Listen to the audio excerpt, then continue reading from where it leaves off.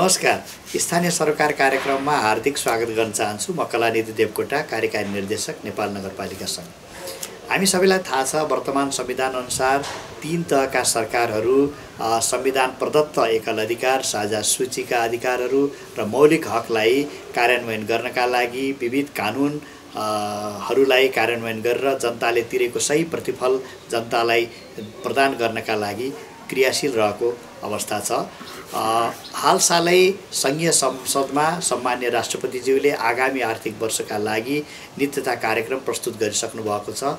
त्यसै गरी सङ्घीय संसदमा सङ्घीय अर्थमन्त्रीज्यूले आगामी आर्थिक वर्षको बजेट प्रस्तुत गर्नु भइसकेको छ र विद्यमान अन्तर सरकारी वित्त व्यवस्थापन ऐन दुई हजार चौहत्तर अनुसार प्रदेश सरकारले असारको एक गतेभित्र र स्थानीय सरकारहरूले असारको दस गतेभित्र बजेट नित्यता कार्यक्रम पारित गर्नुपर्ने कानुनी प्रावधान रहेको छ।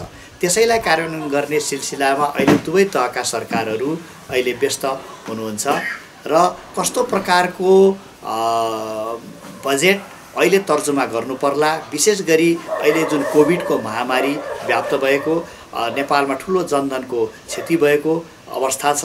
स्थानीय सरकारहरूले अग्रपङ्क्तिमा रहेर विशेष गरी क्वारेन्टिनको व्यवस्थापन राहत प्रदान गर्ने र विदेशबाट फर्केका नागरिकहरूको ट्रेसिङ गर्ने लगायतका विविध कामहरू एकदमै प्रभावकारी रूपमा गरेर स्थानीय सरकारको सङ्घीयतामा औचित्य पुष्टि गरिसकेको अवस्था छ। त्यो हामी सबैका लागि गौरवको पनि कुरा हो।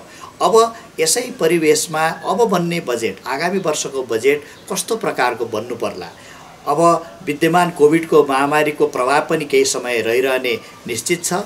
त्यसलाई सम्बोधन पनि गर्नु पर्यो र सङ्घीय संसदमा प्रस्तुत भएको बजेटमा आर्थिक पुनरुत्थान शिक्षा स्वास्थ्य र कृषिलाई महत्त्व दिएर अबको बजेट बनाउनुपर्छ भन्ने किसिमको सङ्केत पनि हाम्रो अर्थमन्त्रीज्यूले दिइसक्नु भएको छ। यस परिवेशमा आन्तरिक राजस्व परिचालन र विभिन्न सशर्त अनुदान सम्पूरक अनुदान समानीकरण लगायतका जुन एउटा बजेटका उपलब्ध व्यवस्थाहरू छन् त्यसको सही पहिचान प परिचालनबाट जनतालाई अधिकाधिक सेवा प्रभावकारी रूपमा दिनका लागि स्थानीय सरकारहरूले कस्तो बजेट बनाउनु पर्ला भन्ने विषयमा हामीले यो आजको कार्यक्रम तर्जुमा गरेका छौँ। आजको कार्यक्रममा पहिलो प्रस्तुतिको रूपमा हामीले आमन्त्रण गरेका छौँ राष्ट्रिय योजना आयोगका मान्य सदस्य मिनबहादुर साईज्यूलाई। अबको स्थानीय सरकारको बजेट तर्जुमामा कस्तो प्रकारको बजेट ल्याउनु पर्ला भन्ने उहाँको धारणा उहाँबाटै सुनौँ। अहिले राष्ट्रिय योजना आयोगले खास गरी नेपाल सरकारले एउटा पहिलो सबभन्दा पहिलो कुरा त पन्ध्रौँ आवधिक योजना सार्वजनिक भइसकेका छ र कार्यान्वयनमा त्यो आइसकेका छ। पन्ध्रौँ आवधिक योजनाले केही लक्ष्यहरू निर्धारण गरेको छ। अहिले जसरी सरकारले समृद्ध नेपाल र सुखी नेपालीको जुन लक्ष्यहरू निर्धारण गरेको छ पहिलो कुरा त त्यो लक्ष्यहरूलाई पनि लक्ष्यहरूलाई हासिल हुने गरिकन स्थानीय तहमा त्यसका सूचकहरू निर्धारण गरेर त्यसका चाहिँ आवश्यक मापदण्डहरू निर्धारण गरेर जानुपर्छ र स्थानीय तहका योजना आयोजनाहरू पनि अब चाहिँ पर्फर्मेन्स बेस खास गरिकन परिणाम दिन सक्ने र रिजल्ट त्यसको परिणाम दिन सक्ने भनौँ नतिजा दिन सक्ने। त्यसको हामीले मापन गर्न सक्ने गरिकन। भोलि बिहान अहिलेको लगानीको जुन स्थिति छ त्यो लगानीबाट प्रतिफल दिने गरीको योजनामा अहिले जोड दिनुपर्छ खास गरिकन। त्यो हामीले भनिसकेका छौँ। र पन्ध्र योजनाले निर्धारण गरेका केही प्रादेशिक तहका केही स्थानीय तहका सूचकहरू त्यसै गरी दिगो विकास लक्ष्यका कुराहरू छन् सुख र समृद्धिसँग जोडिएका लक्ष्यहरू छन्। त्यसको सँगसँगै अरू जति पनि कुराहरू छन् त्यो चाहिँ एउटा पहिलो प्राथमिकता भइहाल्यो। हाम्रो संविधानले निर्धारण गरेका कुराहरू छन् एउटा। अब दोस्रो कुरो भनेको चाहिँ अहिले कोभिडले जुन ढङ्गको स्थिति सिर्जना गरेको छ त्यो कोभिडसँग हामीले सामना गर्ने गरिकन त्यसले ल्याउने असरलाई हामीले सामना गर्ने गरिकन स्थानीय तहले आयोजनाहरू निर्माणहरू गर्नुपर्छ। त्यसका निम्ति प्राथमिकताका क्षेत्रहरू विभिन्न सात सय त्रिपन्नवटा स्थानीय तहहरूमा कुनै कुनै स्थानीय तहहरूमा केही अधिकांश स्थानीय तहहरूमा एकै प्रकारका त्यसका असरहरू त्यसले सम्बोधन गर्न सक्ने विषयवस्तुहरू हुन सक्छन्। तर हिमाली पहाडी र तराई क्षेत्र जुन हाम्रो भौगोलिक विविधता छ त्यो भौगोलिक विविधताले जुन जुन त्यसलाई हामीले कसरी उपयोग गर्न सक्छौँ? हिमाली जिल्लाहरू हुम्ला डोल्पा मुगु ताप्लेजुङ दार्चुला लगायत बजाङ बाजुरामा हामीले गर्न सक्ने विषय क्षेत्रहरू के के हुन सक्छन् त्यसमा? त्यो उहाँहरूले प्राथमिकता निर्धारण गर्नु पऱ्यो स्थानीय तहमा। त्यसै गरी अरू पहाडी जिल्लाहरू छन् तराईका जिल्लाहरू छन् कृषि कुन क्षेत्रमा सबभन्दा बढी हुन्छ फलफुल कुन क्षेत्रमा बढी हुन्छ र त्यसको सँगसँगै अरू विभिन्न खालका कुराहरू के होलान् भन्ने हिसाबमा स्थानीय तहले आफ्ना योजनाहरू निर्धारण गर्नुपर्छ। कृषि होला फलफुलका क्षेत्रहरू होलान् शिक्षाको क्षेत्रमा कसरी लगानी गर्ने होला स्वास्थ्यको क्षेत्रमा कसरी लगानी गर्ने होला र दुइटै हिसाब किताबले खास गरी हाम्रो सर्भिस जुन छ हाम्रो हेल्थ गभर्नेन्सलाई कसरी प्रभावकारी बनाउने होला? त्यो सेवाको क्षेत्र प्रभावकारिता कसरी वृद्धि गर्ने होला? त्यसमा प्रभावकारिता कसरी बढाउने होला? त्यो एकातिर छ भने अरू विभिन्न ढङ्गका कुराहरू छन् कृषिसँग सम्बन्धित कुराहरू छन्। अब अहिले आएर कोभिडले जसरी सामाजिक क्षेत्रमा पारेका प्रभावहरू जुन छन् महिला बालबालिका ज्येष्ठ नागरिक अपाङ्गता भएका क्षेत्रहरू अरू मार्जिनलाइज उसमा परेका सीमान्तकृत समुदाय र वर्गको उत्थान र प्रगतिका निम्ति त्यो आर्थिक क्षेत्रलाई चाहिँ अलिकति प्रभाव पार्ने गरिकन चाहिँ योजनाहरू स्थानीय तहले बनाउनुपर्छ भन्ने छ। स्थानीय तहले पनि विभिन्न ढङ्गका ऐन कानुनहरू छन्। पहिले हामी चौध चौध स्टेप भन्थ्यौँ भने अब हामी सात स्टेप स्टेप पुरा गर्नुपर्ने हुन्छ। योजनाहरू निर्माण गर्ने सन्दर्भमा त्यो सबै सन्दर्भमा गरेर स्थानीय तहले कोभिडसँग जुझ्न सक्ने गरिकन हामीले योजनाहरू बनाउनुपर्छ। रोजगारी धेरैको रोजगारीहरू गुमेको छ। रोजगारी कसरी सिर्जना गर्न सकिन्छ? रोजगारी बाहिरबाट फर्केका युवाहरूको खास गरिकन युवाहरूलाई कसरी हामी उत्पादनशील कार्यमा लगाउन सक्छौँ उनी युवाहरूको इङ्गेजमेन्ट कसरी बढाउन सक्छौँ अरू विभिन्न क्षेत्रहरूका चाहिँ ज्येष्ठ नागरिकदेखि लिएर एकल महिलासम्मका कुराहरूलाई सम्बोधन गर्ने सन्दर्भमा चाहिँ हामीले चाहिँ जानुपर्छ। स्थानीय तहले पनि अब अब आउने सन्दर्भमा खास गरी कोभिड नाइन्टिनलाई ध्यानमा राखेर आयोजना बनाउनुपर्छ र त्यसले हाम्रा राष्ट्रिय लक्ष्यहरू र सूचकहरूलाई प्रभाव गर्ने गरिकन योजनाहरू बनाउनुपर्छ भन्ने लाग्छ। प्राथमिकताका क्षेत्रहरू स्थानीय तहले आफ्नो आफ्नो प्राथमिकता क्षेत्रमा आफ्नो क्षेत्रको भौगोलिक पर्यावरणीय कुराहरू त्यसको वातावरणीय कुराहरू जलवायुका कुराहरू त्यहाँ क्षेत्रको कस्तो छ त त्यो कस्तो खालको आयोजना कार्यक्रमहरू सञ्चालन गऱ्यौँ भने हामी बढी प्रभावकारी बनाउँला भन्ने हिसाबमा मैले त मलाई त्यो किन भनेको भने हुम्लाको माथिल्लो तहमा अथवा डोल्पाको माथिल्लो भेगमा सबैभन्दा बढी प्रभाव म चाहिँ कृषिमा प्राथमिकता दिन्छु भन्यो भने उपयुक्त होला कि नहोला? जहाँ चाहिँ हामीले एघार महिना बाह्र महिना तेह्र महिना एउटै बाली उत्पादन हुन समय लाग्छ। त्यस्तो ठाउँमा हामीले के कुरामा प्रभाव प्राथमिकता दिने होला? अरू एकै अब हामीले अबको तिन तराईका क्षेत्रमा चाहिँ वर्षमा तिन पटकसम्म चार पटकसम्म कृषि उत्पादनमा फोकस गर्ने गरिकन कस्तो खालको हामीले प्रविधि भित्रायौँ भने हामीले चाहिँ कृषिमा बढी जोड दिन सकिएला भन्ने हिसाब किताबले कृषि स्वास्थ्य शिक्षा अरू रोजगारीसँग सम्बन्धित रोजगार आय आर्जन सम्बन्धी कार्यक्रमहरू जीवकोपार्जनसँग सम्बन्धित कार्यक्रमहरूमा अब प्राथमिकता दिँदा उपयुक्त हुन्छ होला भन्ने लाग्छ। तर स्थानीय तह आफ्नो आयोजनाहरू निर्माण गर्ने योजनाहरू निर्माण गर्ने कुरामा उहाँहरू स्वतन्त्र हुनुहुन्छ। उहाँले आफ्नो ढङ्गले प्राथमिकता निर्धारण गरेर योजनाहरू निर्माण छनौट गर्न सक्नुहुन्छ।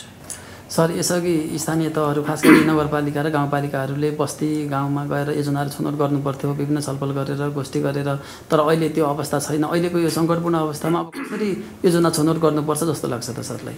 होइन दुई तिनवटा कुरा हो। अब हामीले सबभन्दा पहिलो कुरा त कोभिडसँग हामीले कसरी कोभिडसँगको यसमा रोकथाम गर्ने यसको सामना कसरी गर्ने भन्ने हाम्रा केही रणनीतिहरू केही प्रोसिडियर्सहरू केही मापदण्डहरू छँदैछन्। त्यो मापदण्डहरूलाई मापदण्डहरूलाई प्रभावकारी ढङ्गले कार्यान्वयन गर्ने एउटा कुरा छ।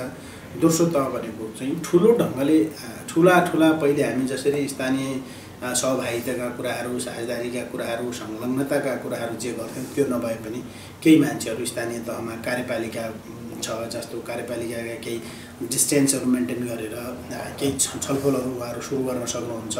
केही कुराहरू विगतमै पनि उहाँहरूले प्रभावकारी केही कुराहरू छनौट गरिसक्नु भएको छ। आफ्ना स्थानीय तहका प्राथमिकताका क्षेत्रहरू के हुन् विषय विषय विषयगत क्षेत्रहरू के हुन् कुन कुन क्षेत्रमा कस्तो खालको चाहिँ हस्त हस्तक्षेपकारी नीति बनाउनुपर्छ भन्ने कुरा उहाँहरूलाई धेरै त उहाँहरूले विगतमा पनि छलफल गरिसक्नु भएको छ र प्राथमिकता निर्धारण गरिसक्नु भएको छ।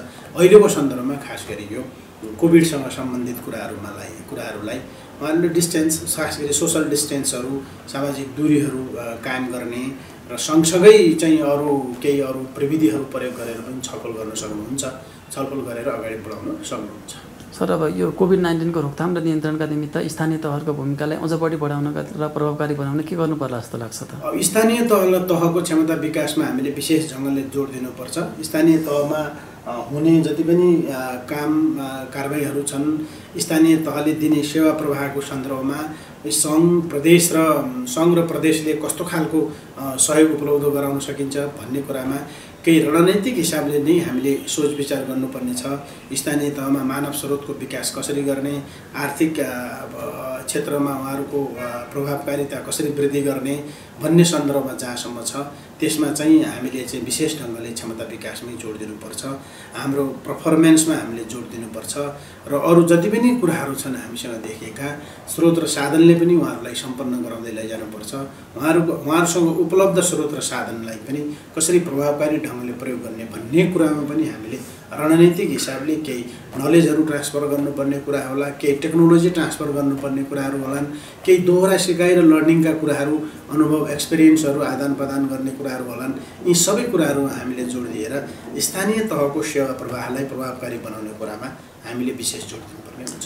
सर सङ्घीय सरकार प्रदेश सरकार स्थानीय तहहरूबिचको समन्वयलाई आगामी दिनमा अझ बढी प्रभावकारी बनाउनका निमित्त के गर्नुपर्छ जस्तो लाग्छ केही त्यहाँ कुराहरू संविधानले नै निर्देशित गरेको छ र हामीले विगतको अनुभव अब स्थानीय तहको खास गरी तिन वर्षकै हाम्रो अनुभवहरू जे छ त्यो अनुभवका आधारमा हामीले केही केही कार्यक्रमिक कुराहरू र केही नीतिगत कुराहरूमा सुधार गर्नुपर्ने ठाउँहरूमा सुधार गर्दै लैजाने र हामीले अहिलेको अनुभव के हो भने फ्रन्टलाइन चाहिँ तपाईँको चाहिँ सेवा प्रवाहको निकाय चाहिँ स्थानीय तह नै भएको हुनाले स्थानीय तहलाई बलियो बनाउँदै लैजानुपर्छ। र खास गरी स्रोत र साधनले पनि त्यसलाई सम्पन्न गराउँदै लैजानुपर्छ। हामीले सुन्यौँ राष्ट्रिय योजना आयोगका मान्य सदस्यज्यूबाट आगामी आर्थिक वर्षको बजेट तथा कार्यक्रम अ, मा कस्तो प्रकारको व्यवस्था गर्नु उपयुक्त होला भन्ने धारणा पक्कै पनि यो एउटा महत्त्वपूर्ण धारणा स्थानीय सरकारको लागि उपयोगी हुनेछ भन्ने हामीले ठानेका छौँ। अब दोस्रो प्रस्तुतिका लागि हामीले आमन्त्रण गरेका छौँ। सङ्घीय मामिला तथा सामान्य प्रशासन मन्त्रालयका सहसचिव विष्णुदत्त गौतमज्यू। उहाँले विशेष गरी कोभिडको अहिलेको विद्यमान महामारीको पृष्ठभूमिमा अब कस्तो प्रकारको बजेट कार्यक्रम ल्याउनु पर्ला स्थानीय सरकारमा भन्ने बारेमा आफ्नो धारणाहरू राख्नुहुनेछ। कस्ता किसिमका प्राथमिकताका क्षेत्रहरू तोक्नु पर्ला? त्यसमा यो कसरी अब वडा भेला लगायतका जुन प्रकारको एउटा हाम्रो तहगत जुन योजना तर्जुमा पद्धति छ त्यसलाई अहिलेको विद्यमान परिस्थितिमा कसरी चाहिँ नि अ, व्यवस्थित प्रकारले अ, गर्नु पर्ला भन्ने जस्ता कुराहरू उहाँले आफ्नो प्रस्तुतिमा राख्नुहुनेछ। अब त्यो हामी हेरौँ।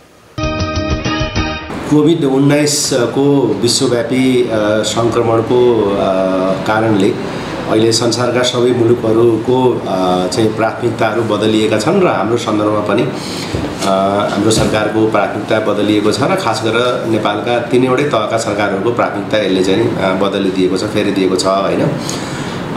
यस सन्दर्भमा खास गरेर स्थानीय तहको आउने वर्षको आउने आर्थिक वर्षको बजेट तथा कार्यक्रम तर्जुमा गर्नुपर्ने गर्ने तयारीको अवस्था अहिले भएको कारणले गर्दाखेरि स्थानीय तहले आउने वर्षको बजेट कार्यक्रमहरू तर्जुमा गर्दाखेरि चाहिँ आफ्नो प्राथमिकताहरू चाहिँ कसरी निर्धारण गर्ने र कसरी चाहिँ योजनाहरू बनाउने नीति कार्यक्रमहरू बनाउने भन्ने विषय चाहिँ अहिलेको प्रमुख एउटा चुनौतीको विषय प्रमुख चासोको विषय चाहिँ को रूपमा देखिएको छ। यस सन्दर्भमा मैले खास गरेर आफ्ना भनाइहरूलाई केही बुँदाको रूपमा राख्न चाहन्छु। पहिलो कुरा त स्थानीय तहको योजना तर्जुमा प्रक्रिया कस्तो हुन्छ यस्तो बेलामा भन्ने कुरा छ। खास गरेर हामीले सहभागितात्मकमूलक योजना तर्जुमा विधि अवलम्बन गर्नुपर्छ भन्ने कानुनी व्यवस्थाहरू गऱ्यौँ। त्यसका आधारमा वडा भेलाहरू टोल भेलाहरू हामी चाहिँ आयोजना गरेर मागहरू सङ्कलन गरेर त्यसलाई प्राथमिकरण गरेर आयोजनाहरू छनौट गर्ने विधि हामीले विगतदेखि अप्नाएको हो र अहिलेको कानुनी व्यवस्था पनि यही हो। तर अहिले चाहिँ यस्ता भेलाहरू आयोजना गर्न कठिन देखिन्छ। त्यसले गर्दाखेरि अहिले त्यस्ता चाहिँ जनताका भावनाहरूलाई जनताका आवश्यकताहरूलाई कसरी चाहिँ लिने भन्ने एउटा विषय चाहिँ एउटा चुनौतीको विषय चाहिँ अहिले देखिएको छ अहिलेको एउटा यो योजना तर्जुमाको सन्दर्भमा। त्यस्तै अब खास गरेर अब स्थानीय तहको आउने ब वर्षको बजेटको प्राथमिकताहरू हेर्दाखेरि पनि खास गरेर जीवन रक्षा नै सबभन्दा पहिलो चुनौतीको रूपमा देखिएको छ। त्यस कारणले क्वारेन्टाइनहरूको व्यवस्था गर्ने कुरा राहत चाहिँ नि को लागि व्यवस्थापन गर्ने कुरा कामका लागि राहतका व्यवस्थापन गर्ने कुराहरू सूचना सङ्कलन सङ्कलन र सम्प्रेषण सम्बन्धी कुराहरू त्यस्तै चाहिँ नि अब यो जनचेतना सम्बन्धी कामहरूलाई स्थानीय तहले निरन्तरता दिनुपर्ने अवस्था छ। त्यसलाई पनि आउने वर्षको बजेट कार्यक्रमले समेट्नुपर्ने अवस्था देखिएको छ। त्यस्तै अर्को एउटा चुनौतीको विषय चाहिँ नि यो चालु वर्षमा अधुरा रहने योजनाहरूलाई आउने वर्ष कसरी कहाँबाट पुरा गर्ने भन्ने पनि एउटा अर्को ज्वलन्त विषय देखिएको छ। धेरै जसो चाहिँ सशक्त अनुदानको यो र समपूरक अनुदानको योजनाहरू चाहिँ जुन बेलामा अ, अलिक बढी चाहिँ जुन रकम चाहिँ फ्रिज हुन्छ जुन रकम चाहिँ असारभित्र खर्च गरिसक्नुपर्छ र जुन बेलामा स्थानीय तहमा विकास निर्माणका कामहरूले गति लिने हो त्यही बेलामै यो चाहिँ अहिले कोभिडको कारणले गर्दाखेरि लकडाउनहरू चाहिँ को घोषणा भएर विकास निर्माण कामहरू पुरै रोकिएका छन् जुन अधुरो रूपमा छन् र यिनलाई चाहिँ हामीले असारभित्र चाहिँ सम्पन्न गर्ने सक्ने अवस्था छैन र यो अधुरा रहेका योजनालाई आउने वर्ष कहाँबाट साथ स्रोत साधनहरू कसरी जुटाएर तिनलाई सम्पन्न गर्ने भन्ने एउटा चुनौती छ त्यस्ता योजनाहरू हामी अधुरै पनि छोड्न सक्दैनौँ। तिनलाई सम्पन्न गर्नलाई छुट्टै स्रोत पनि हामीसँग उपलब्ध हुने अवस्था देखिरहेको छैन। त्यसकारण भएकै बजेटबाट ती योजनाहरूलाई कसरी हामी चाहिँ नि समावेश गरेर आउने वर्षको बजेटमा समावेश गर्न सकिन्छ भन्ने कुरा चाहिँ अर्को कुरा चाहिँ छ। त्यस्तै अब कामको लागि राहतको कुराहरू सँगसँगै विकास निर्माणका कामहरूलाई श्रममूलक कसरी बनाउन सकिन्छ भन्ने कुरा चाहिँ ले विकास निर्माणका कामहरूलाई सञ्चालन गर्ने विधि पद्धतिलाई चाहिँ अलिकति यसले निर्देशित गर्छ होला। त्यसमा चाहिँ स्थानीय तहले ध्यान दिनुपर्ने अवस्था देखिएको छ।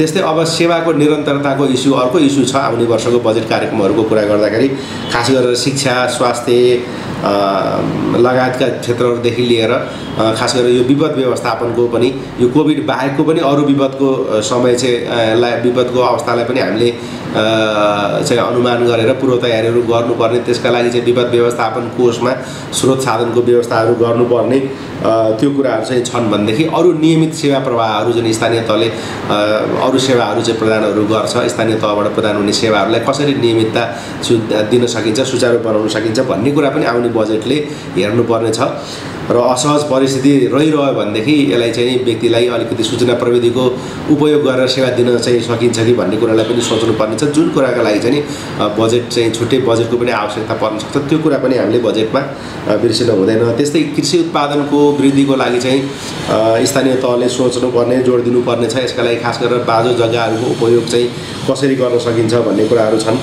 त्यस्तै मल बिउ कीटनाशक औषधिहरूको आपूर्तिको व्यवस्थापन कसरी सहज बनाउने त्यसमा सहजीकरण कसरी सकिन्छ स्थानीय तहबाट भन्ने कुराहरू पनि छन् र त्यस्तै सँगसँगै उत्पादित वस्तुको चाहिँ भण्डारण प्रशोधनका कुराहरू र त्यसको बजार व्यवस्थापनका कुराहरूमा पनि स्थानीय तहले सहजीकरण गरिदिन सक्यो भने कृषि क्षेत्रको विकासका लागि यसले मद्दत गर्छ र स्थानीय तहले बजेट बनाउँदा यी कुरालाई पनि ध्यान दिनुपर्ने छ त्यस्तै अर्को चाहिँ नि खास गरेर अनुत्पादक खर्चहरूलाई कटौती गर्ने कुराहरू पनि एउटा एउटा छलफलको बहसको विषय हुनसक्छ स्थानीय तहको बजेट तर्जुमाको सन्दर्भमा।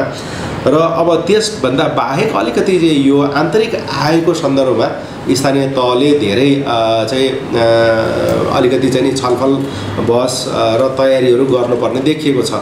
यो वर्षको पनि आन्तरिक आय चाहिँ अनुमान गरे अनुसार उठ्ने अवस्था छैन। यसले विकासमा अरू थुप्रै असर गर्ने अवस्था छ भने सँगसँगै यी आन्तरिक आयका जुन ठेकाहरू लगाइएका छन् ती ठेकाहरू चाहिँ सम्झौतामा कबुल गरे अनुसारको पैसा नउठ्ने अवस्था छ।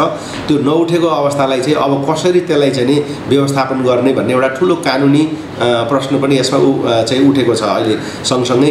यसलाई पनि स्थानीय तहले खास गरेर यो अवस्था निरन्तर रहेको खण्डमा आउने वर्षमा पनि यसले ठुलो असर गर्छ। स्थानीय तहको आन्तरिक आम्दानीलाई यसले ठुलो असर गर्छ। खास गरेर चाहिँ विभिन्न खालका यो चाहिँ करहरू भनौँ अब अथवा चाहिँ व्यवसाय करहरू घलबार करहरू जस्ता क्षेत्रहरूमा यो करको कर सहुलियतहरू दिनुपर्ने करदाताहरूलाई कर छुटहरू कर सहुलियतहरू दिनुपर्ने व्यवस्था हुनसक्छ भने खास गरेर बिक्री र सेवा शुल्कहरू जस्तो बस पार्कहरू पार्किङ चाहिँ शुल्कहरू उठा उठाउने अवस्थाहरू छ। धेरै ठाउँमा चाहिँ हाट बजारहरू कतिपय ठाउँहरूमा चाहिँ नि यो पशु हाटहरू पनि ठुल्ठुलो पशु हाटहरू सञ्चालन हुने गरेका छन्। यस्ता जुन आन्तरिक आम्दानीका माछा पोखरीका ठेक्काहरू छन् कतिपय ठाउँमा हाट बजारका ठेक्काहरू छन् यस्ता चाहिँ ठेक्का बन्दोबस्त गरेर जुन आन्तरिक आम्दानी उठाउने हो यसको लागि पनि यो अहिलेको असरलाई अ, आकलन गरेर आउने वर्ष चाहिँ कति चाहिँ यसको न्यूनतम ठेका अङ्क कायम गर्न सकिन्छ उठाउने विधि प्रक्रियामा कसरी यसलाई चाहिँ व्यवस्थापन गर्न सकिन्छ यो कुरा चाहिँ अहिले चाहिँ आन्तरिक आम्दानी आउने वर्षको आन्तरिक आम्दानी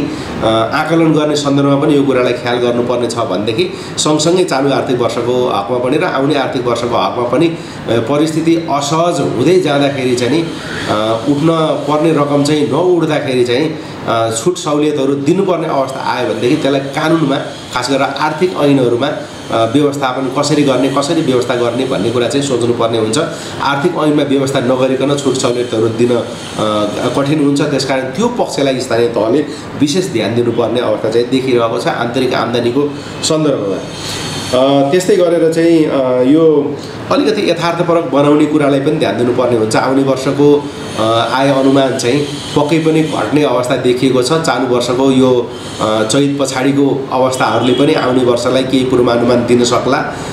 यो आधारमा आउने वर्षको आन्तरिक आम्दानीलाई यथार्थपरक बनाउने कुरामा पनि विशेष ध्यान दिनुपर्ने देखिन्छ। कतिपय करका दरहरूलाई पनि पुनरागमन गर्नुपर्ने अवस्था छ भने त्यो पनि अहिले नै सोच्नुपर्ने अवस्था छ बजेट तया- तयारीकै क्रममा। र अलिकति बजेटको कार्यान्वयनको सन्दर्भमा अहिलेको परिस्थिति र भोलि आउने परिस्थिति चाहिँ यही रूपमा नजाने अवस्था आउनसक्छ। सुधार पनि हुनसक्छ र अझै बिग्रेर पनि जान सक्छ त्यसले गर्दाखेरि चाहिँ अलिकति बजेटको कार्यान्वयनको सन्दर्भमा केही लचकताहरू चाहिँ अप्नाउन सकिएन भनेदेखि चाहिँ स्थानीय तहलाई गाह्रो हुन्छ। जस्तो उदाहरणको लागि भनौँ यही वर्ष नै हामीले स्थानीय तहको जति पनि स्रोत साधनहरू त्यसलाई चाहिँ विभिन्न क्षेत्रगत रूपमा विषयगत क्षेत्रगत रूपमा विषय क्षेत्रका रूपमा चाहिँ बाँडफाँड गरेर आयोजनाहरूमै क्रियाकलापहरूमै बाँडफाँड गरेर कार्यक्रमहरूमै बाँडफाँड गरेर डिटेल बजेट बनाउनु पर्छ भन्ने खालको चाहिँ हामीले कार्यविधिहरू बनायौँ दिग्दर्शनहरू बनायौँ। स्थानीय तहले त्यही चाहिँ दिग्दर्शनलाई अवलम्बन गरेर आफ्नो भयभरको सबै बजेट चाहिँ विभिन्न योजना कार्यक्रमहरूमा बाँडफाँड गर्नु हो। तर यही बिचमा चाहिँ अब यो कोभिडको समस्या आइ आयो। जुन समस्यालाई चाहिँ नि अब समाधान कसरी गर्ने त? भयभरको बजेट चाहिँ हामी अरू विभिन्न स्रोत विभिन्न आयोजनाहरूमा कार्यक्रमहरूमा बाँडफाँड गरिसकेका छौँ भने यो कोभिडको व्यवस्थापन चाहिँ क्वारेन्टाइनको व्यवस्थापन राहतको व्यवस्थापनहरू कुन स्रोतबाट कहाँबाट ल्याएर कसरी गर्ने अहिले जुन चुनौतीहरू देखिएको छ त्यही चुनौती चाहिँ आउने वर्षमा परिस्थिति अझै असहज हुँदै जाँदाखेरि चाहिँ नि त्यो चाहिँ अवस्था आउन सक्छ। त्यस कारण यस्तो खालको अलिकति फ्लेक्सिबिलिटी लचकताको कुरालाई पनि चाहिँ बजेट बनाउने बेलामा ध्यान दिनुपर्ने जरुरी देखिएको छ। यद्यपि विपद व्यवस्थापन कोषमा चाहिँ अलिकति राम्रो बजेट चाहिँ छुट्याएर जान सकियो भनेदेखि यस्ता विपदहरूले निम्त्याउने नयाँ सङ्कट नयाँ चाहिँ समस्याहरूलाई समाधान गर्न त्यो कोषको परिचालन चाहिँ एउटा उपयुक्त माध्यम हुनसक्छ कि? र समग्रमा बजेटको कार्यान्वयनको क्रममा आउन सक्ने अप्ठ्याराहरूलाई पनि बजेट तर्जुमाको क्रममा ध्यान दिनुपर्ने बजेटमा केही न केही लचकता राख्नुपर्ने एउटा यो समस्या देखिएको छ भनेदेखि बजेटको आकारलाई पनि अलिकति चाहिँ ठिक्क आकारको उपयुक्त आकारको बनाउनु पर्ने अवस्था छ। हिजो अस्ति हामी चाहिँ कतिपय अवस्थामा चाहिँ अलिकति यो चाहिँ अलि अलि बढी काम गर्न सकिन्छ कि भन्ने हिसाबले पनि सोच्थ्यौँ होइन? अलिकति महत्त्वाकाङ्क्षी पनि हिसाबले सोच्थ्यौँ स्रोत साधनहरू पनि कतैबाट थप स्रोतहरू जुटाउन सकिएला नि त भन्ने हिसाबले पनि हामी कार्यक्रमहरू बनाउँथ्यौँ भनेदेखि अहिले चाहिँ अब त्यस्तो बाहिरबाट आउन सक्ने धेरै स्रोतहरूको पनि सम्भावना देखिँदैन। सङ्घीय सरकारले दिने भनेर अहिले जुन प्राप्त भएको बजेट सीमाहरू अन्तर्गत प्राप्त हुने रकमहरू राजस्व बाँडफाँडको रकमहरू रोयल्टी रकमहरूलाई पनि सङ्घीय सरकारको उठ्ने राजस्वले चाहिँ प्रभाव पर्ने भएको हुनाले राजस्व अनुमान गरे अनुसार उठेको अवस्थामा मात्रै सङ्घीय सरकारले दिने अनुदान पनि उपलब्ध गराउन सक्ने अवस्था आउन सक्छ। त्यसकारण चाहिँ सकेसम्म चाहिँ आउने वर्षको बजेटलाई स्थानीय तहले आकलन गर्दाखेरि यसको साइज चाहिँ यसको आकार चाहिँ अ, ठिक्क आकारको उपयुक्त आकारको बजेट बनाउने कुरामा चाहिँ ध्यान दिनुपर्ने देखिन्छ। धेरै महत्त्वाकाङ्क्षा राख्न सकिने अवस्था चाहिँ अहिलेको चाहिँ छैन।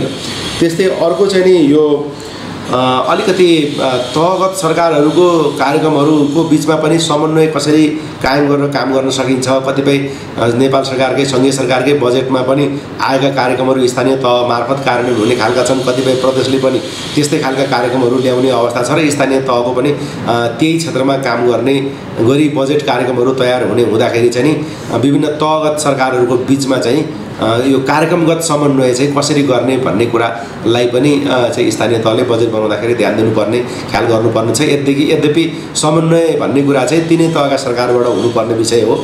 एउटा तहको सरकारले मात्रै समन्वय गरेर हुने अवस्था होइन।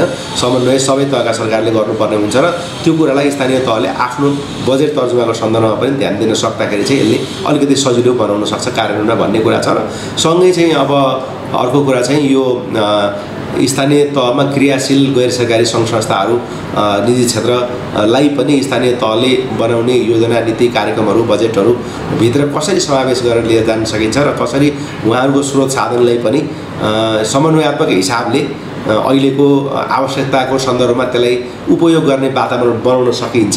त्यो पनि स्थानीय तहले चाहिँ अहिले बजेट बनाउने सन्दर्भमा सोचेर जानुपर्ने अवस्था देखिन्छ। यो सबै कामको लागि चाहिँ मन्त्रालयले स्थानीय तहलाई अलिकति सहजीकरण गर्ने हिसाबले यो आव यो आवश्यकता पहिचान अहिलेको अवस्थामा आवश्यकता पहिचान कसरी गर्ने र त्यसका आधारमा योजना कसरी बनाउन सकिन्छ? जुन योजनाले चाहिँ अहिलेको कोभिड उन्नाइसको ले सिर्जना गरेको समस्या अवस्थालाई चाहिँ सम्बोधन गर्न सक्छ अथवा कोभिड संवेदनशील हुने हिसाबले चाहिँ कसरी आउने वर्षको योजना कार्यक्रम र बजेट चाहिँ तर्जुमा गर्न सकिन्छ भन्ने कुरामा चाहिँ मन्त्रालयले केही सहजीकरणका लागि केही सन्दर्भ सामग्रीहरू पनि उपलब्ध गराएको छ।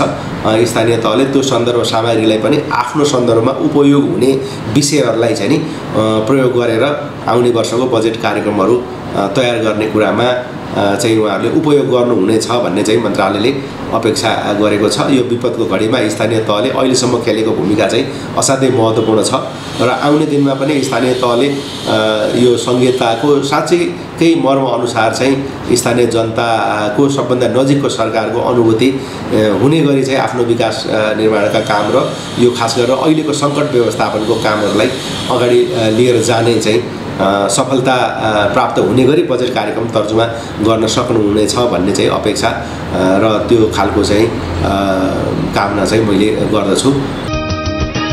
तेस्रो विज्ञका रूपमा हामीसँग हुनुहुन्छ संयुक्त राष्ट्रसङ्घ विकास कार्यक्रमका सहायक आवासीय प्रतिनिधि यामनाथ शर्माज्यू।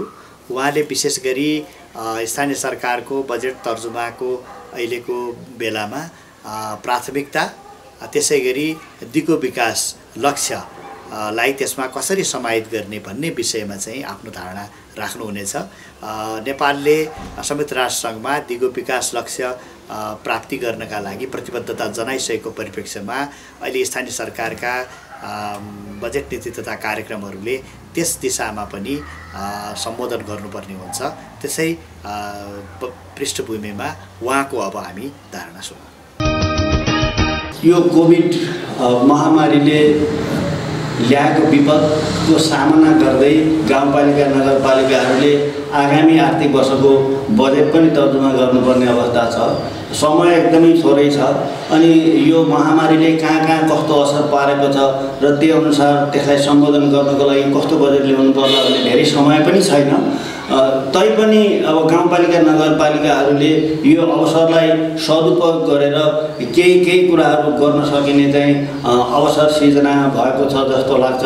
पहिलो कुरो भनेको सङ्घीयताको अभ्यास गर्ने सिलसिलामा संविधानले परिकल्पना गरे अनुसार गाउँपालिका नगरपालिकाहरूलाई दिएको जिम्मेवारी पुरा गर्ने सिलसिलामा उनीहरू अ, ले कतिसम्म गर्न सके कति चाहिँ गर्न बाँकी छ र अझ थप के के गर्दाखेरि चाहिँ उनीहरूले दिएको संवैधानिक दायित्व अझ पुर्याउन सक्छ भन्ने हेर्ने एउटा अवसर सिर्जना गरेको छ जस्तो लाग्छ यो बजेट मार्फत। यो सिलसिलामा के अध्ययनहरूले पनि गाउँपालिका नगरपालिकाहरूले आधारभूत मानव विकाससँग सम्बन्धित सेवाहरू जस्तो शिक्षा स्वास्थ्य खानेपानीमा थुप्रै गर्न बाँकी छ। त्यसलाई अझ आन्तरिक आन्तरिकीकरण गरेर त्यसलाई प्रभावकारी बनाउन बाँकी छ भन्दै आएको अवस्थामा यसलाई कसरी अझ प्रभावकारी बनाउनलाई काम गर्न सकिन्छ भन्ने एउटा महत्त्वपूर्ण अवसर हो यसलाई हेर्ने। वास्तवमा हामीलाई थाहा भयो कि अहिले आएर हाम्रो स्वास्थ्य प्रणाली कति कमजोर रहेछ कति खण्डित रहेछ र हाम्रा स्वास्थ्य प्रणालीमा कहाँ कहाँ दरारहरू रहेछन् भन्ने कुरा यसले देखाएको पनि छ। त्यस्तै गरेर आन्तरिक प्रणालीलाई सुधार गर्दै आफ्नो क्षमतालाई कसरी विकास गर्न सकिन्छ भन्ने कुराहरू पनि छ। यसमा खरिददेखि लिएर मानवको स्रोत व्यवस्थापन थुप्रै कुराहरू पर्न सक्छन्। त्यस्तै गरेर विकासलाई कसरी समग्रतामा हेर्ने विकासलाई एकाङ्की रूपमा मात्रै नहेरेर सबैलाई जोडेर एउटा समग्रतामा हेर्न सक्यो भने कसरी प्रभावकारी हुनसक्छ भन्ने एउटा अवसर पनि यसले ल्याएको छ। अब गाउँपालिका नगरपालिकाहरूले अब बजेट तरुमा गर्दाखेरि वास्तवमा अब अहिले यो हामी मानवीय सङ्कट भन्छ ह्युमेनिटेरियन क्राइसिसको अवस्थामा छौँ। त्यो सबको भएको कारणले गर्दाखेरि मान्छे यो स्वास्थ्यजन्य समस्या छ। मान्छे कतिपय अवस्थामा राहत नपाएर छटपटाइरहेको अवस्थामा छ। त्यो मानवीय सङ्कटसँग सम्बन्धित कुराहरूलाई यो सङ्कट कायम रहेसम्म चाहिँ सामना गर्नुपर्ने हुन्छ गाउँपालिका नगरपालिकाले। त्यसले गर्दाखेरि त्यसलाई प्राथमिकता दिने आफ्नो ठाउँमा छँदैछ पहिलो प्राथमिकता त्यसपछि दोस्रोमा आएर चाहिँ वास्तवमा अहिले अवरुद्ध भएका सेवाहरू जस्तो गाउँपालिका नगरपालिका वडा वडा कार्यालयहरूले दिने सेवाहरू अवरुद्ध भएका छन्। स्कुलहरू विद्यालयहरू बन्द छन् स्वास्थ्य चौकी स्वास्थ्य केन्द्रहरू बन्द छन्। भनेपछि यिनलाई कसरी सुचारु गर्ने हो त नयाँ सिलसिलामा? नयाँ सिलसिला अब नयाँ सिलसिलामा सुरु गर्ने भने त्यति कुरो सजिलो छैन। एक त महामारीको प्रकोप पनि छ। अनि अब त्यसबाट जो जोगिनु पनि परेको छ त्यसलाई जुझ्नु पनि परेको छ। तर यी सेवा अवरुद्ध हुँदाखेरि चाहिँ दीर्घकालमा गएर यसले विकासलाई असर पार्ने भइसक्यो। वास्तवमा अहिले नै यो स्वास्थ्य अवरुद्ध हुँदाखेरि बाल मृत्यु दर बढ्न सक्ने मातृ मृत्यु मृत्यु दर बढ्न सक्ने र मान्छेको औषध आयु नै वास्तवमा नै अब घट्छ कि भनेको यहाँ मात्रै होइन विश्वव्यापी रूपमा एक चिन्ताको विषय भएको कारणले गर्दाखेरि यी सेवालाई लामो समयसम्म अवरुद्ध गर्नु चाहिँ दिन हुँदैन। त्यो अनि त्यो त्यसको कारणले गर्दाखेरि यी सेवाहरूलाई कसरी सुचारु गर्न सकिन्छ त्यसको लागि भौतिक पूर्वाधारमा के हेर्नु पर्ला होइन अस्पतालका संरचनाहरूमा कहाँ परिवर्तन गर्नु पर्ला जनशक्तिमा चाहिँ कहाँ कहाँ अभाव छ त्यो कसरी पूर्ति गर्नु पर्ला अनि त्यसपछि आएर अस्पतालका अन्य संरचना जस्तो त्यहाँभित्र सरसफाइको व्यवस्थालाई कसरी सुव्यवस्थित गर्ने खानेपानीलाई कसरी अझ पर्याप्त बनाइदिने सेनिटाइजेसनको कुराहरू त्यहाँभित्र कसरी राख्ने यस्ता कुराहरूलाई पनि दोस्रो प्राथमिकतामा हेर्नुपर्ने आवश्यकता छ जस्तो मलाई लाग्छ भने त्यसपछि अब दीर्घकालमा गएर यसलाई पुनरुत्थानतिर जाने पुनरुत्थान भनेर भनेको अब मान्छेको अब जीविकोपार्जनलाई सजिलो बनाउनु पऱ्यो सेवा प्रवाहलाई अझ विस्तारित गर्न लानु पऱ्यो अझ प्रभावकारी बनाउनु पऱ्यो त्यसको लागि चाहिँ कृषिमा जोड दिनु पर्ला गा गाउँपालिका नगरपालिका क्षेत्रभित्र रोजगारीलाई जोड दिनु पर्ला अनि त्यसपछि त्यसको लागि चाहिँ साना उद्योगहरू होला उद्योगको विकास व्यवसाय कसरी फस्टाउने यस्ता कुराहरूमा जोड दिने हिसाबले चाहिँ प्राथमिकताको निर्धारण गर्दा उपयुक्त हुन्छ जस्तो लाग्छ मलाई। सर अहिले स्थानीय सरकार गाउँपालिका र नगरपालिकाहरूले बजेट निर्माण गर्दा कोभिड नाइन्टिनको साथसाथै दिगो विकास लक्ष्यलाई कसरी सँगसँगै अगाडि बढाउन सकिन्छ जस्तो लाग्छ सरलाई? दिगो विकासका लक्ष्यहरूको प्राप्तिमा गाउँपालिका नगरपालिकाहरूको स्थान अग्रणी छ। थुप्रै गाउँपालिका नगरपालिकाहरूले दिगो विकासका लक्ष्य र यसका सूचकहरूलाई आफ्नो आवश्यकता र परिस्थिति अनुसार ढालेर रणनीतिक हिसाबले आफ्नो योजनामा बजेटमा नीति तथा कार्यक्रममा राख्ने काम थालिसक्नु भएको थियो। त्यसमा हामीले नेपाल सरकार प्रदेश सरकार र नेपाल नगरपालिका सँग पनि सहकार्य गरेर गाउँपालिका नगरपालिकाहरूसँग काम गरिरहेका पनि थियौँ। अहिले यो बिचमा आएको महामारीको कारणले गर्दाखेरि त्यो कामलाई थाँती राख्नुपर्ने अवश्य अवस्थामा छ भने केही समय यो ओझेलमा पर्ने पनि हुनसक्छ। किनभने उहाँ गाउँपालिका नगरपालिकाहरूले आफ्नो स्रोत साधन र समयलाई कोभिड महामारीले ल्याएको सङ्कटसँग जुझ्नको लागि खर्चनु पर्ने आवश्यकता छ। यो कारणले गर्दाखेरि गाउँपालिका नगरपालिकाको नेतृत्वमा अब हामीले गरिरहेको काम सधैँभरि छायामा पर्ने हो कि अथवा त्यसमा काम गर्न पाइने हो कि नपाइने हो अथवा हामीले गरिरहेको काम कहाँनिर दिगो विकासका लक्ष्यहरूसँग जोडिन्छ भन्ने परेको हुनसक्छ त्यसमा हामीले ख्याल गर्नुपर्ने कुरा के छ भनेर भन्दाखेरि हो तत्कालको लागि दिगो विकासका लक्ष्यहरू हासिल गर्नमा यो महामारीले ठुलो धक्का पुर्याएको छ। थुप्रै सूचकहरूमा नकारात्मक नतिजा प्राप्त हुने हो कि तत्कालको लागि भन्ने कुरा केही अध्ययनहरूले देखाइसकेका पनि छन्। युएनडिपीले विश्वव्यापी रूपमा जारी गरेको एउटा अन्तरिम प्रतिवेदनमा मानव विकास सूचकाङ्कमा विश्वव्यापी रूपमा गिरावट आउने कुराहरू पनि आइसकेका छन्। त्यति हुँदाहुँदै पनि हामीले ख्याल गर्नुपर्ने कुरा छ भन्दा भन्दाखेरि दिगो विकासका लक्ष्य भनेर भनेको दीर्घकालीन विकासका लक्ष्य हुन्। यो दुई हजार तिससम्ममा विश्व समुदायले र हामीले पनि हासिल गर्नुपर्ने लक्ष्य भएको कारणले गर्दाखेरि तत्कालको लागि यसलाई थाँती राख्नु परे तापनि यो अन्तत गएर हामी सबैले काम गर्नुपर्ने र हामी सबैले योगदान गर्नुपर्ने क्षेत्र नै हो। तत्कालको लागि यो कामलाई सोझै थाँती राख्नु परे तापनि हामीले कोभिड महामारीसँग सम्बन्धित यसको पुनरुत्थान यसको कारणले ल्याएको समस्याको समाधान गर्नको लागि हाम्रो स्थानीय अर्थतन्त्रको पुनरुत्थानको लागि गर्नुपर्ने कामहरू कुनै न कुनै रूपमा दिगो विकास लक्ष्यसँग जोडिन्छन्। र हामीले आगामी हिसाबमा यसको रणनीति बनाउँदाखेरि यसको बजेट यसको नीति तथा योजनाहरू बनाउँदाखेरि दिगो विकासका लक्ष्यहरूलाई आत्मसात गर्नुपर्ने आवश्यकता छँदैछ। त्यसको अतिरिक्त र अझ महत्त्वपूर्ण कुरा चाहिँ दिगो विकासका लक्ष्यले ल्याएका जुन सिद्धान्तहरू छन् कोही पनि पछाडि नपुरुन्। समग्रतामा विकासलाई समग्रतामा हेरौँ। समग्र सरकारको अवधारणा अनुसार सबै तहको सरकारले समन्वयमा काम गरून्। समग्र समाजलाई एक रूपमा ल्याएर विकासलाई अगाडि बढाउँ भन्ने जुन सिद्धान्तहरू छन् त्यो अझ बढी वास्तवमा महत्त्वपूर्ण रूपमा आएका छन्। के भनिन्छ भनेर भन्दाखेरि यदि दिगो विकासका लक्ष्यहरूलाई हामीले हासिल गर्न सकेको भए अहिले यो महामारीको असर चाहिँ योभन्दा धेरै कम हुने थियो भन्ने छ। यसको अर्थ चाहिँ दिगो विकासका लक्ष्यहरू वास्तवमा पुरा नहुने यो चाहिँ केही समयपछि असान्दर्भिक भएर जाने होइनन् कि वास्तवमा यो अझ बढी सान्दर्भिक हुने विषयवस्तुको रूपमा अझ अगाडि आएका छन्। यसरी आज हामीले तिनजना विज्ञ ज्यूहरूबाट आगामी वर्षको बजेट निर्माणमा स्थानीय सरकारको प्राथमिकताका क्षेत्रहरू त्यसै गरी अहिले कोभिड महामारीको सन्दर्भमा कस्तो प्रकारको यसको प्रभाव रहला त्यसलाई सम्बोधन गर्ने गरी नेपाल सरकारले विशेष गरी बजेटमा जुन प्रकारको प्राथमिकताहरू आएको छ त्यसलाई सम्बोधन गर्ने गरी र अन्य स्थानीय सरकारका आफ्ना प्राथमिकताहरूलाई चाहिँ कसरी व्यवस्थित गर्ने भन्ने विषयमा तिनजना विज्ञज्यूहरूबाट धारणा सुन्यौँ। पक्कै पनि यस कार्यक्रमले अहिले तर्जुमा गर्न लागेको स्थानीय सरकारको बजेट निर्माण गर्ने सवालमा पक्कै पनि यसले मद्दत गर्नेछ भन्ने हामीले अपेक्षा लिएका छौँ। हस्त धन्यवाद।